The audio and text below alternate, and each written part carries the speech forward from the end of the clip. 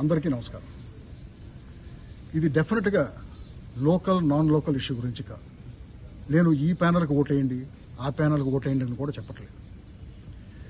కానీ మనం ఆలోచించాల్సిన విషయం ఒకటి ఇప్పుడు మన సినిమాలు తీసేవాళ్ళు మన క్యారెక్టర్ ఆర్టిస్ట్ని వదిలేసి బయట భాషల నుంచి క్యారెక్టర్ ఆర్టిస్ట్ని తీసుకొచ్చి వాళ్ళకి వేషాలు ఇచ్చి వాళ్ళ డిమాండ్స్ అన్నిటికీ ఒప్పుకొని వాళ్ళతో యాక్ట్ చేయిస్తున్నారు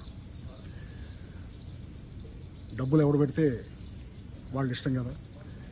మేబీ మన క్యారెక్టర్ ఆర్టిస్టులు ఆ క్యారెక్టర్స్కి సూట్ ఎవరేమో మేబీ ఆ బయట భాషల నుంచి వచ్చే ఆర్టిస్టులను పెట్టడం వల్ల డబ్బులు పెట్టే వాళ్ళకి డబ్బింగ్ రైట్స్ ద్వారా ఎక్కువ డబ్బులు రావచ్చు. ఆ బయట నుంచి వచ్చే ఆర్టిస్టుల అదృష్టం మన క్యారెక్టర్ ఆర్టిస్టుల దురదృష్టం అనుకుంది.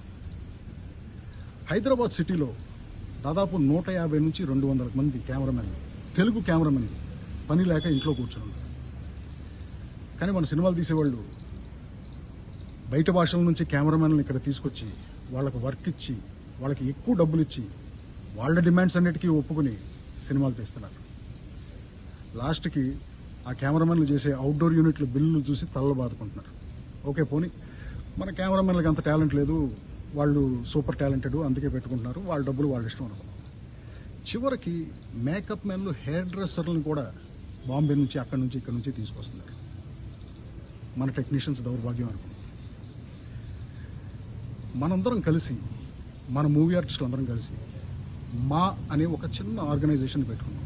ఎందుకు? మన సమస్యలను పరిష్కరించుకుంటాం. వేరే ప్రొడ్యూసర్స్తో డైరెక్టర్స్తో ఇబ్బందులు వస్తే వాళ్ళతో చర్చించడానికి దీనికోసం మనం పెట్టుకున్నాం. ఇది మన కోసం. ఇలాంటి ఒక చిన్న ఆర్గనైజేషన్ కూడా ఇలాంటి ఒక చిన్న ఆర్గనైజేషన్ని రన్ చేయడానికి కూడా మనలో ఒకడు పనికిరాడా. దీనికి కూడా మనం బయట నుంచి మనుషుల్ని తెచ్చుకోవాలా? ఒక్కసారి ఆలోచించి చూడండి. మళ్ళీ చెప్తున్నాను ఇది లోకల్ నాన్ లోకల్ ఇష్యూ కాదు. ఇది మన ఆర్గనైజేషన్. మనం నడుపుకోలేమా? మనకు చేత కదా? బయట నుంచి ఎవరో వచ్చి మనకు నేర్పించాలి? కొంచెం ఆలోచించండి.